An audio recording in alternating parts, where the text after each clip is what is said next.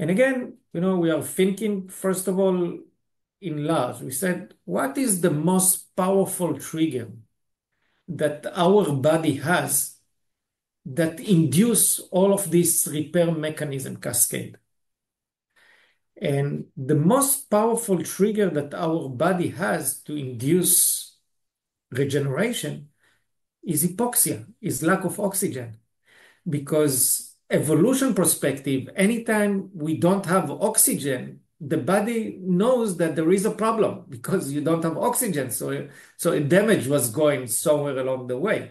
So he, by triggering the hypoxia, but by sensing the hypoxia, the body triggers all the repairs that we spoke about.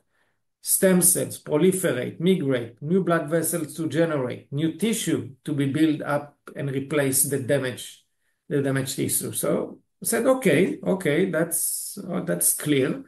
So can we take a person, hold his breath, stop his heartbeat? We will have hypoxia. Will that induce? The answer is, is yes, but there is only one problem with that. This is, this is not exactly healthy, and you will actually need the repair mechanism. And then we were thinking what the body actually sense. Does the body sense absolute values, or does the body sense the delta, the fluctuation? It happens to be that there is no absolute in nothing. Nothing is absolute. Everything is relative. Okay, I, I will feel that I'm tall or short, not based on my actual height. That depends on my location. Okay, if if I'm living in Finland, I will probably be very short. If, I'm coming to you and visit you in Hong Kong, I will probably be average plus. Okay, so so everything everything is relative. And, and we said, okay, let's see, let's see if we can take advantage of that. Let's increase the oxygen to very high level and then do a fast decline back to the normal. In a way that this decline from very high back to the normal will be sensed at the cellular level as hypoxia. And and that took us only six years of research and optimizing the protocol. Now it sounds easy, but but when you're doing that, you're saying, okay, let's try this, try this. And, and so so this is what we are doing. We are taking people into a chamber, we call it a suite. You sit inside, we are compressing the air to two atmospheres, and then we give the oxygen by mask. By doing that, we are increasing the blood oxygenation from 100 mercuries to 1600. At this level, the amount of the dissolved oxygen is sufficient for all the energy demand of the body. We don't need red blood cells. So oxygen can be delivered even the location where, where the blood cells cannot go. Uh, so that's one thing. And then the real trick is that per a protocol that we define, people are being asked to take the mask off while they're in the chamber. And when they're taking the mask off, there is an abrupt decline of the oxygen from very high, from 1600 back to the normal. And then we are going up and down again, and we have also the gap between the session where you are back to normal atmosphere.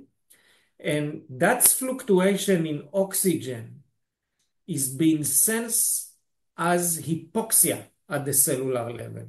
And then the body activate all the things that usually happen during hypoxia in hyperoxygenized condition. The stem cells proliferate, blood vessels start to generate. This is what we call the hyperoxic hypoxic paradox. Uh, our main focus is, is on the brain because the brain is the most challenging and probably the most important tissue. And it happens to be that even in the brain, we have, we have stem cells. We call them neuronal stem cells. They are located in a place in the brain we call hippocampus in the periventricular area. And by doing this fluctuation, these stem cells start to proliferate and then they are migrating. And then for the first time, we can see angiogenesis and neurogenesis in the brain, uh, which is, of course, exciting.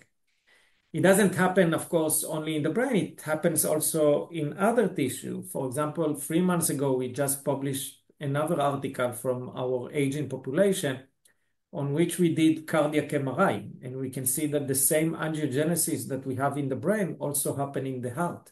You have more blood flow in the heart as the result of that. And having doing that, then the cardiopulmonary exercise test is improving. The maximal capacity, the aerobic, the anaerobic threshold is improving. And this is this is quite exciting because we can actually open the bottleneck, induce the repair mechanism, and get results at the tissue and the clinical part that is related to that tissue that is being improving. So if we go, sorry that I spoke yeah. too much. I no, no, no. That, there's a lot to unpack in there. Yes.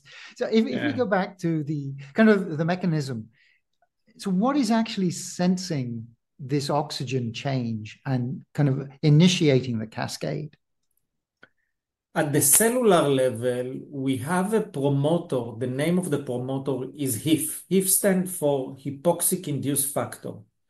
There are three Nobel Prize winners from 18 months ago on, on the HIF. So once there is hypoxia, HIF is going up. And once HIF is going up, it's a promoter means that once it's going up, there is a whole cascade of genes that will be expressed. VEGF, vascular endothelial growth factor, that is inducing the generation of the new blood vessels. The mitochondria start to proliferate. The stem cells are being sensing that, and you activate their replication, their ability to proliferate and migrate.